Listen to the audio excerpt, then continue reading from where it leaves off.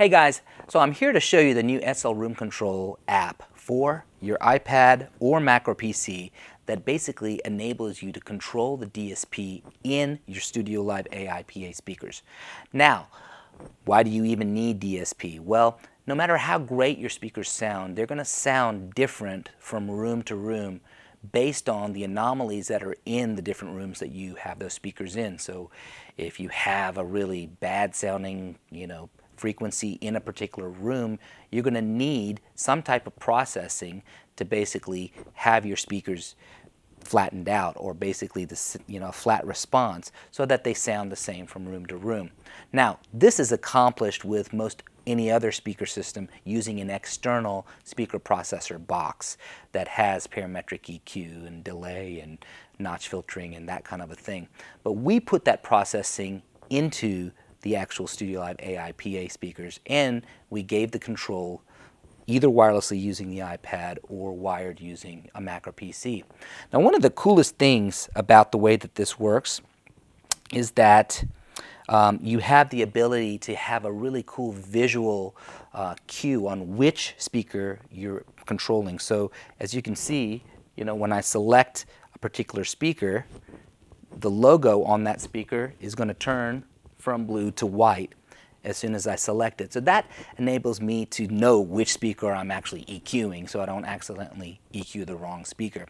Uh, and additionally, I get a lot of visual feedback from the iPad or my Mac or PC on what's happening inside of the speaker. So, you know, if I'm if I'm mixing out front and I feel like, oh man, I might be I might be pushing the system a little bit too hard. I'm, you know, am I am I clipping? Well, with any other PA speaker out there, if you're wondering if you're clipping or not, you're gonna have to run back and look on the back of the speaker and see if the clip light's coming out. But that's the beauty of this SL room control. I can actually look on my iPad and not only see if I'm clipping individual components of the speaker, but it even tells you the temperature within the speaker. So let's dig in and let me show you SL Room Control.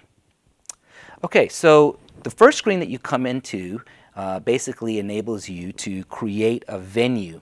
So um, you can set up different names or different venues for the different places that you play at. So we'll just hit add new venue, we can name it. Okay, I'm playing at the varsity tonight, great hit add. And then you'll come to this screen which shows all of the speakers that are on the network. And again, when I select a speaker, you know, you'll see the logo turn from blue to white when I'm selecting that speaker. So when I hit this little gear box, um, it opens up the settings for that particular speaker. And as you can see, I can solo that speaker, I can mute that speaker, I can look at the temperature within that speaker. I can turn the high pass filter on or off. I also have the ability to basically change the, the different modes. Now this is also able to be done on the back of the uh, Studio Live speakers. You know, you have the ability to change from normal mode to floor monitor mode. LBR source mode, that's an, a really cool one. That's uh, low bit rate source and what, what that enables you to do is basically make an MP3 sound a lot better. So it retunes the speaker if you're playing MP3s through it. So uh, it's a really cool feature. Now the other thing that you get is a nice visual cue. This is a meter right here. So if I had signal running through you'd see the meter and uh, if you're starting to overheat or go into thermal, you see this little flame, that little flame will come on.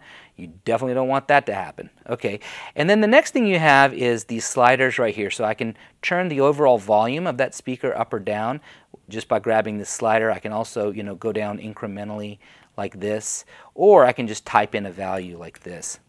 Uh, the next thing is speaker delay. Now this enables me to, uh, if I'm using, let's say, um, a pair of speakers as delay stacks, uh, to be able to time align my delay stack speakers to my front of house speaker. So I have up to 500 milliseconds of delay, and this is really um, quite a bit of delay uh, that's available for you.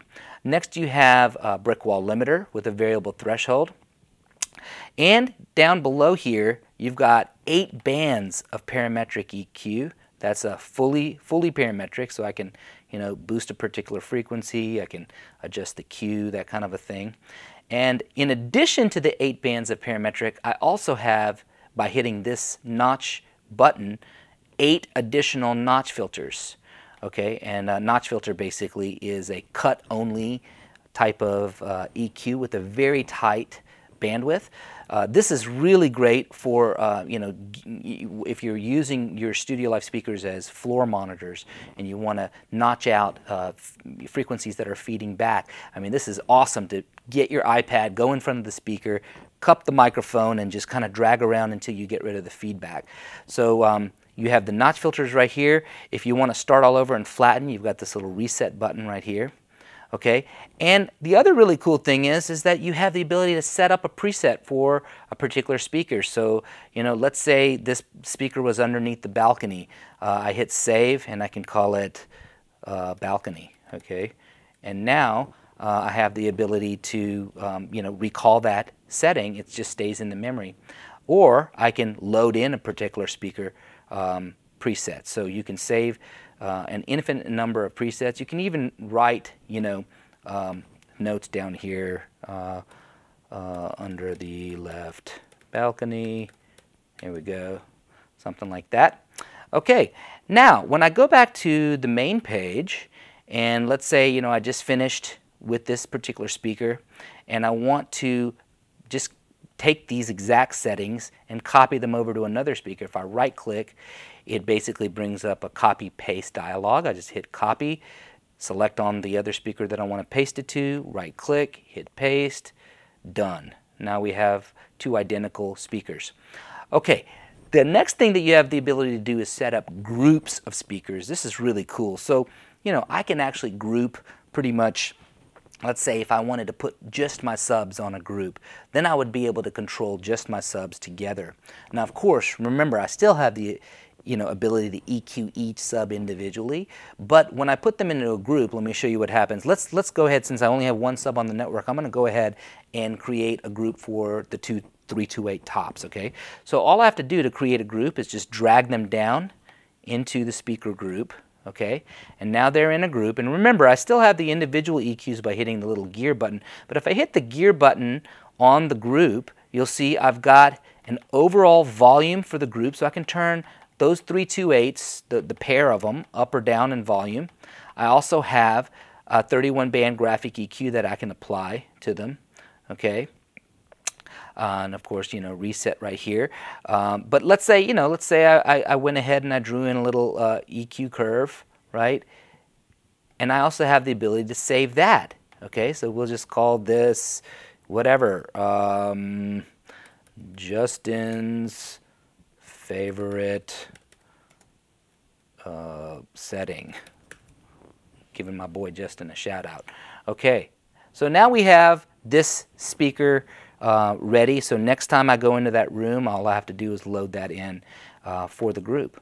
Okay, so that's basically a quick overview of Studio Live Room Control for the AI speakers. It's a free download on the App Store.